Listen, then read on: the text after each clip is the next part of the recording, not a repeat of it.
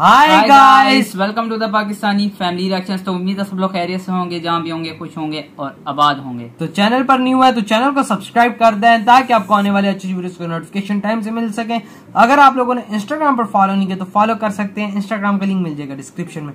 वहाँ पर भी कोई लिंक शेयर करना तो कर सकते हैं। कोई बात करनी है तो कर सकते हैं। कोई आप लोगों को इन्फॉर्मेशन देनी है तो वहाँ पर दे सकते हैं। तो आज का वीडियो बहुत ही ज़्यादा इंटरेस्टिंग होने वाला है। तो वीडियो का टाइटल आप लोगों को जल्दी से मैं बताता चलो। Indian growth upset neighbours IMF predict India growth rate is will be 9.5 percent in this year ये तो वजह मतलब वीडियो देखेंगे तो तभी पूरा डिटेल से पता चलेगा। एग्जैक्टली exactly, इसमें कोई शक नहीं।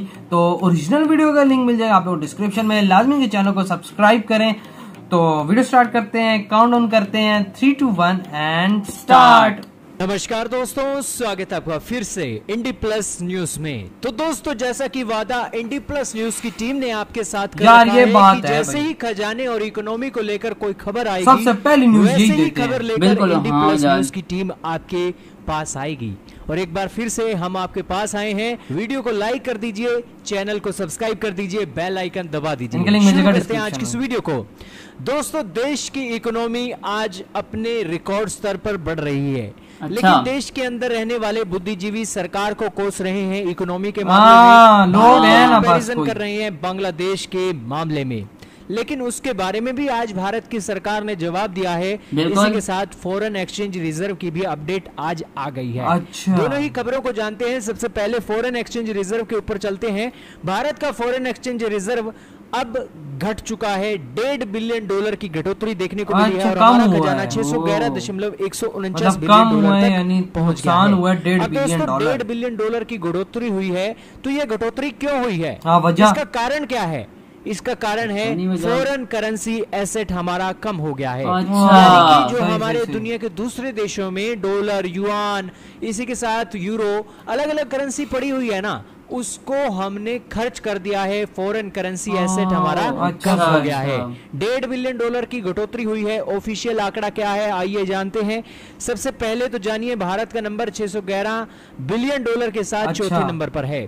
ज़रूर भारत का रिज़र्व घटा है रशिया का रिज़र्व भी घटा है लेकिन ये सारे आंकड़े यहीं पर यही नहीं दिखाते हैं। रशिया का आंकड़ा सबसे ज़्यादा गिरा है हाँ, तो भाई बात है, गिर सकते हैं, तो लेकिन भारत की आधी हुई है। जो बड़ी बात है कि हम अगर पैसे भी खर्च कर रहे हैं तो फूक फूक कर कर रहे हैं। जहाँ ज़रूरत है वहीं कर रहे हैं। करना भी ऐसे चाहिए। हाँ। इंडियन इकोनॉमी के बारे में क्या एक ग्रोथ रेट के आंकड़े आए हैं? आपको याद होगा बांग्लादेश तरक्की कर रहा है। बांग्लादेश की तरक्की को देखकर भारत का मीडिया उनकी तारीफ़ कर रहा है। लेकिन भारत के अंदर रहने वाले लोगों के अंदर एक ये छवि बन गई है कि बांग्लादेश जिस हिसाब से तरक्की कर रहा है ना भारत को पछाड़ कर रख देगा। ज़रूर दोस्तों इसमें किसी को भी शक नहीं है कि भारत की ग्रोथ से ज़्यादा आज बांग्लादेश की ग्रोथ हो रही है। लेकिन मतलब क्या, वो छोटा देश है कि बांग्लादेश बड़ा है। आज भारत को हरा देगा तो ऐसा कोई ऐसा नहीं है बनता ही नहीं है। भारत की सरकार ने पार्लियामेंट के अंदर कहा है। भारत की सरकार ने पार्लियामेंट के अंदर जवाब देते हुए कहा है कि भारत की इकोनॉमी को बांग्लादेश की इकोनॉमी के साथ कंपैरिजन करना कोई एक सही बात नहीं है। बहुत अंतर है भारत और बांग्लादेश की इकोनॉमी में।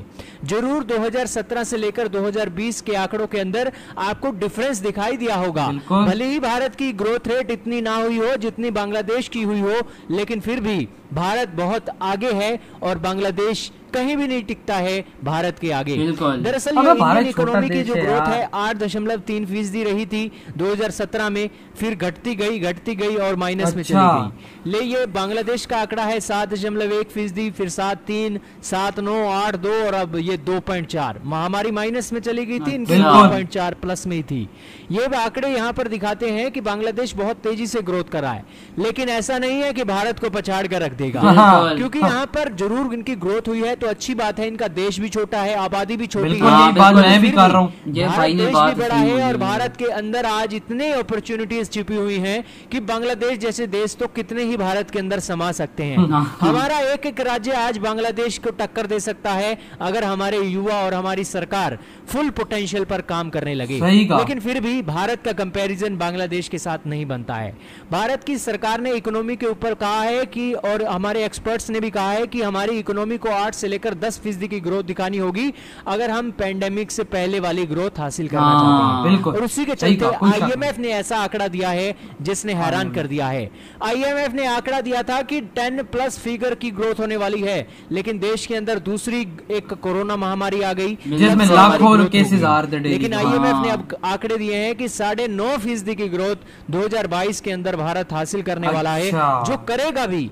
भारत के इतिहास को उठाकर देखिए कि भारत के अंदर बाउंस बैंक बाउंस बैक करने की जो ताकत है ना बहुत ज़्यादा है। बांग्लादेश नहीं। देश छोटे देश आज भारत के बाउंस बैक के आगे टिक नहीं सकते हैं। यही कारण है कि आईएमएफ ने साढ़े नौ फ़ीसदी का एक ग्रोथ रेट दिखाई है कि पूरी दुनिया के अंदर number one growth rate Bharat की ही होने वाली है। आपका क्या मानना है? कमेंट सेक्शन में ज़रूर बताइएगा। तो इधर ये वीडियो खत्म। यार इसमें तो कोई शक नहीं है कि मतलब कि जो पेंडेमिक चल रहा था इंडिया का कोरोना वायरस का उसके अंदर काफ़ी इंडिया का नुकसान हुआ है। जब ये सेकंड लेयर आई है इसने तो बहुत ही ज़्यादा नुकसान किया है बिल्कुल हाँ जब ये इतनी बड़ी बीमारी है ना बहुत सारे मुल्क मतलब इसमें इनकी सारी जहर लेकिन इंडिया को ज़्यादा इसने हिट किया है हाँ, हमारे इंडिया को बहुत ही बड़ा इसने नुकसान दिया है इस चीज़ के अंदर।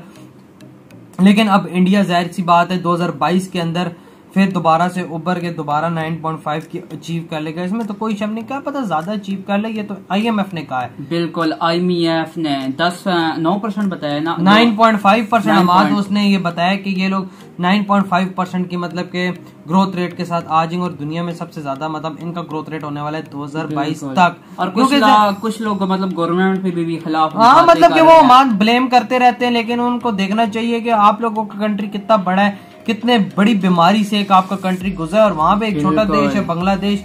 आप लोगों के तो के एक स्टेट उनसे कम्पीट कर सकता है यार वो चीज़ इकोनॉमी का कंपैरिजन आप इसमें कर रहे हैं। और बनता ही नहीं है वो चीज़ ना ग्रोथ रेट का बनता है ना कुछ। हाँ अलबत्ता ग्रोथ रेट अगर वो अच्छा कर रहा परफॉर्म तो करना चाहिए ज़ाहिर सी बात है उसका भी हक बनता है। लेकिन ये है कि इंडिया एक सुपर पावर आने वाले मतलब के टाइम का देश है तो मतलब उसको कोई फ़र्क ही नहीं पड़ना चाहिए इंडिया को। कि भाई वो कर रहे हैं कि नहीं कर रहे। इधर ज़ाहिर सी बात है पावरफुल होने का है और साथ साथ इकॉनमी इंडिया की साथ साथ बढ़ती जा रही देखा है। जाए तो इंडिया का मतलब काफ़ी ज़्यादा बड़ा मुल्क है और काफ़ी ज़्यादा आबादी भी है और बांग्लादेश मतलब काफ़ी छोटा देश है। बिल्कुल। इस मामले में अगर देखा जाए ज़ाहिर सी बात है इसमें कोई शक नहीं और बकाया जिस तरह इन्होंने बताया कि घटोतरी भी हुई है मतलब कि वो खजाने के अंदर। तो यार ये ऐसी छोटी मोटी चीज़ें चलती रहती हैं कमियाँ बेशियाँ लगी हुई हैं। ऊंच नीच लगी हुई है तो अभी देखो इंडिया का कितना ज़्यादा बढ़ा था अभी सिर्फ़ डेढ़ बिलियन ही कम हुआ है। सारी जो मेन वजह जड़ थी ना कोरोना वायरस तो वही मेन वजह थी इसमें हाँ। कोई शक नहीं है हमारे मेन प्रॉब्लम ही कोरोना वायरस था नहीं तो अभी इंडिया तुझे क्या लगता है इकॉनमी चार ट्रिलियन की बना के बैठा हुआ होता लेकिन ये साल डेढ़ हुआ अभी थोड़ा हो गया बीमारी की वजह से अभी पीछे नहीं हुआ लेकिन अपनी जगह पे स्टेबल हाँ। है। कई इसने इतनी बड़ी बीमारी है, उसने भी कोई इसका वो काम खराब नहीं किया। कितने जितने और देशों का कर दिया है हाँ, इसने बिल्कुल। तो यार आप लोग बताए इस बारे में आप लोगों को क्या थॉट्स है? वीडियो अच्छा लगा तो लाइक कमेंट शेयर सब्सक्राइब करें। इधर ही वीडियो खत्म करते हैं अपना बहुत ज़्यादा ख्याल रखना तो बाय